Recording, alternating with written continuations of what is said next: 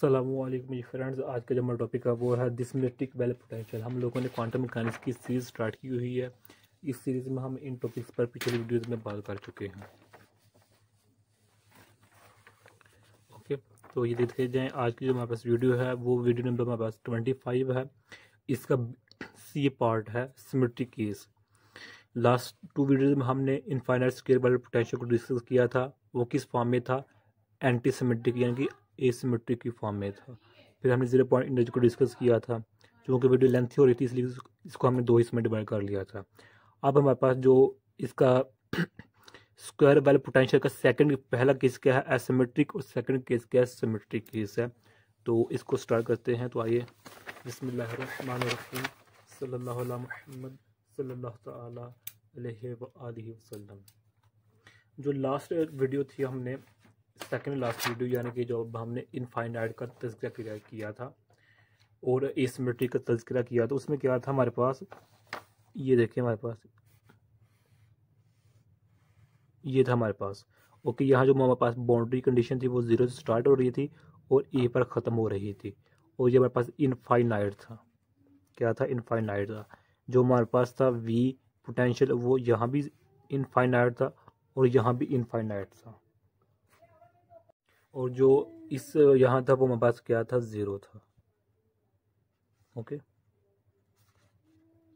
Along access यानी कि कहने का मतलब क्या है कि जो हमारे पास था लास्ट मैं ये भी लास्ट वीडियो को डिस्कस कर रहा हूँ। जो लास्ट सेकेंड लास्ट हमने स्टडी किया था कि ये पॉजिटिव हमारे पास था इन्फिनिट जो था कब? जब हमारे पास एक्स ग्रेटर था ज़ीरो से। ओके और ये हमारे पास था ज़ीरो था कब? जब हमारे पास एक्स की वैल्यू ग्रेटर थी या इक्वल थी ज़ीरो के और लेस देन थी ए और यहाँ का क्या था हमारे पास? पॉजिटिव ये हमारे पास क्या था? इन्फिनिटी था जब एक्स की वैल्यू क्या थी? ए थी। यानी कि मैं कहने का मतलब क्या है कि ए, इस रीजन में इस रीजन में हमारे पास क्या था? इनफाइनाइट हमारे पास पोटेंशियल था और रीजन इसमें क्या था? फाइनाइट हमारे पास पोटेंशियल था। सॉरी ज़ीरो पोटेंशियल था। ये था हमने जो सेकंड लास्ट वीडियो है यानी कि इनफाइनाइट स्केयर वाले पोटेंशियल एसिमेट्रिक इसमें इसको डिस्कस किया था। और इसमें हमने वेव फ़ंक्शन की और एनर्जी की वैल्यू को भी निकाला था। तो जो वेव फ़ंक्शन था, वो क्या था हमारे पास? Two over A sine N pi X over A ये हमने वेव फ़ंक्शन निकाला था और एनर्जी का जो फार्मूला निकाला था, वो हमने निकाला था N square pi square H cut square over two M A square ये हमने लास्ट वीडियो में सेकंड लास्ट वीडियो में ये चीज़ें की हुई है। अब जो कि हम बात कर रहे हैं सिमेट्री का। अब सिमेट्री का मतलब यहाँ क्या है कि जो यहाँ बाउंड्री कंडीशन है, वो चेंज हो जाएँगी। यानी कि अब जो मेरे पास होगी, ये कंडीशन हो जाएगी नेगेटिव ए ओवर टू और ये बन जाएगी पॉजिटिव ए ओवर टू और दरमियान मेरे पास ज़ीरो आ जाएगा। ओके ये है मेरे पास सिमेट्रिक केस है, ये हमारे पास। और ये वाला ये वाला ये वाला सेम टू सेम ही रहेगा। और जो मेरे पास ये भी है, ये भी इनफाइनाइट ही रहेगा, जो बाउंड्री कंडीशन है जो इसकी वॉल्स हैं, वो इनफाइनाइट ही रहेंगी। अब फ़र्क क्या आ गया? फ़र्क बस ये आया है कि जो हमारे पास था, जब लास्ट ही, वहाँ हम यहाँ से स्टार्ट करते थे यहाँ एंड होता था। यहाँ, लेकिन अब क्या हो गया कि हम यहाँ से स्टार्ट करेंगे along the X axis positive X axis और यहाँ से अगर इस जन तो हम हम फिर यहाँ से ही स्टार्ट करेंगे। अब ये फ़र्क आ गया है।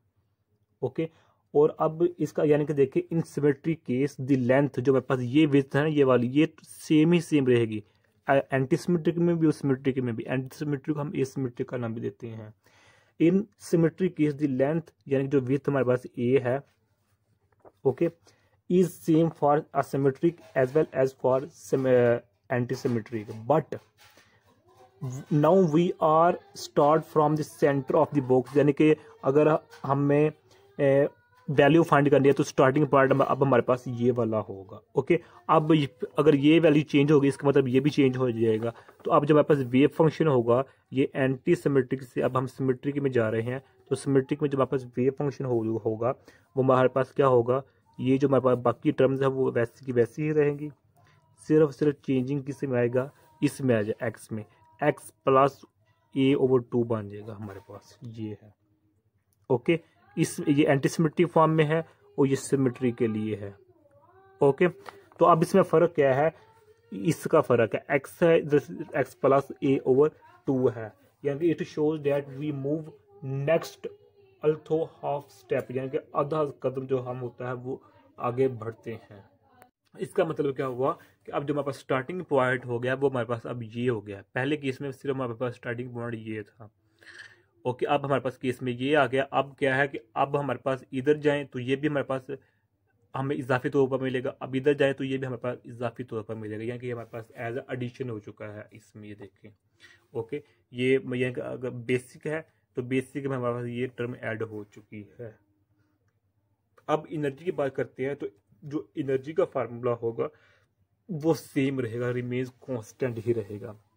एंटी सिमेट्रिक के लिए भी और सिमेट्रिक के लिए भी हमारे पास जो फार्मूला होगा, ये सेम ही रहेगा।